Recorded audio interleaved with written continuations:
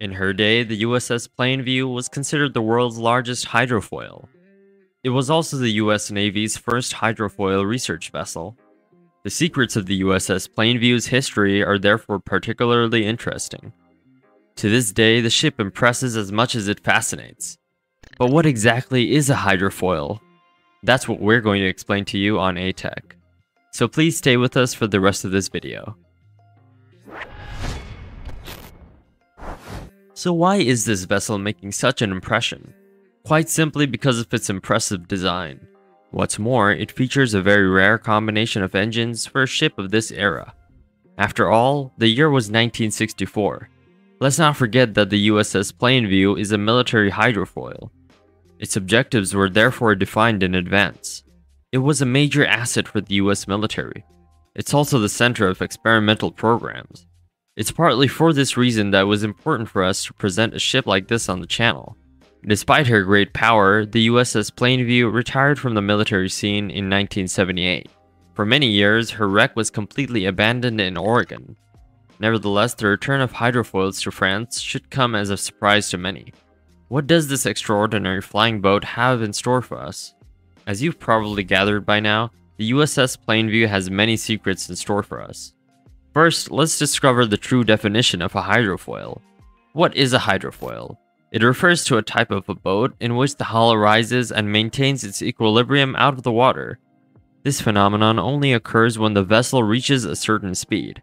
Do you know how this is possible? It's thanks to the lift of a set of submerged wings, otherwise known as foils, which work in the same way as the wings of an aircraft. If the drag is no longer in contact with the hull, this technique not only increases boat speed, but also reduces fuel consumption. For those of you not familiar with fluid mechanics, we'd like to remind you exactly what drag is.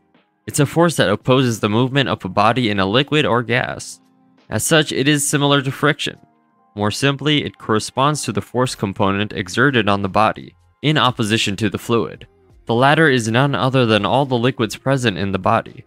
They help transport nutrients and expel waste from the cells. Returning to our hydrofoil, the USS Plainview was designed as a part of a project established on May 8, 1964, by Lockheed Shipbuilding and Construction Company, the Washington-based shipyard. This company is a subsidiary of the world-famous Lockheed Corporation, renowned for its military aircraft. Overall, at $21 million, this design is particularly impressive. The USS Plainview project took root on June 28, 1965. Sponsored by American naval aviator John T. Hayward, she was commissioned on March 3, 1969. She takes her name from two small American neighborhoods. One is east of New York City on the north shore of Long Island, while the other is in northern Texas. The USS Plainview resembles a naval patrol boat with two folding, wing-like extensions. This makes it the world's fastest hydrofoil. It was initially conceived as a response to Soviet nuclear-powered submarines, which were also equipped with nuclear weapons. Construction of the USS Plainview was overseen by one of the most brilliant engineering teams of the 20th century, with Lockheed Shipbuilding and Construction Company investing $140 million. At the time, however, the USS Plainview was not designed for great success. It was ships like the F-104 and SR-71 that were in the spotlight. According to the United States Navy's theories, these fast, very large hydrofoils would have the ability to steer towards enemy vessels.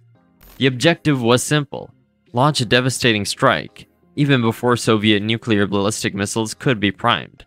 With this in mind, the USS Plainview was equipped with an extremely impressive combination of engines. Never before has a motorized vehicle on land or at sea had such a mechanical combination. Two marine diesel engines are fitted with titanium propellers. These then propel the vessel in the manner of a standard seagoing vessel. When the hydrofoil fins deploy, a pair of General Electric LM1500 free turbine engines take over. These were based on the J79 engines found on the Lockheed F104 and McDonnell Douglas F4. They enabled the 315-ton USS Plainview to glide over the water at an estimated top speed of 40 knots. That's almost 80 kilometers an hour. For ships of the mid-1960s, this speed was unrivaled. Even today, it remains very impressive. From her home port of Bremerton, Washington, she has logged no fewer than 268 hours at sea on her hydrofoils. These figures have yet to be equaled. As a military hydrofoil, the USS Plainview's objectives were defined in advance. How did hydrofoils become an indispensable part of the military? Military hydrofoils very quickly became an indispensable weapon of war for any army. As a result, several Soviet and Chinese models were being built in large numbers. Even before the USS Plainview saw the light of day, Boeing built hydrofoils powered by an 18,000 horsepower turbine. These ships were capable of sailing at more than 48 knots, that's 89 kilometers an hour. Unfortunately, they were deemed far too costly to operate, and production soon came to a halt. Subsequently, the USS Plainview, with its 67 meter length and super powerful 28,000 horsepower machinery, really marked the success of hydrofoils. She thus represented a major asset for the US military, it played a decisive role in the United States' advance against the Soviet armed forces, which were considered extremely powerful. Indeed, they were in possession of nuclear missiles. The arrival of the USS Plainview completely revolutionized the civilian sector. They also marked the beginning of considerable progress in hydrofoil technology. The USS Plainview even conducted long-term experimental programs. The aim was to evaluate the principle of hydrofoil design and develop possible manufacturing tactics. A doctrine was also put in place. This determined the feasibility of hydrofoil operations on the high seas. Despite this assertive power, the success of the USS Plainview was short-lived. The hydrofoil was decommissioned on September 22, 1978. On September 30th of the same year, she was permanently struck from the Navy Register. It was then bought by a private investor for the modest sum of $128,000. Then the USS Plainview's lover, Lowell Stanbaugh, rushed to buy her back. He intended to use the ship as a fishing boat. Unfortunately, the interest on a loan forced him to sell it for scrap. In fact, he had the Plainview partially dismantled. In particular, its fins were removed. Today, the USS Plainview lies abandoned in Oregon. What remains of its hull is submerged in the mudflats of a private property at the junction of the Columbia River. This has given rise to much debate.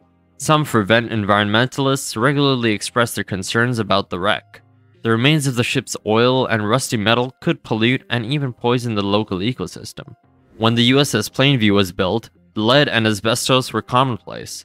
Corrosion is about to break the ship's hull, which is expected to spill into the surrounding waters. Perhaps it would have been wiser to display it as a historic monument rather than leave it to decay. However, some have decided to bring hydrofoil vessels back into fashion. Completely shelved in the United States, the USS Plainview doesn't seem to have said its last word, and France isn't having any of it. In 1976, French sailor Eric Tabarly drew his first sketch of a hydropter, made in France. In 1985, sailor Alain Thébault took over the design of the yacht. The first version of Hydropter was launched in 1995.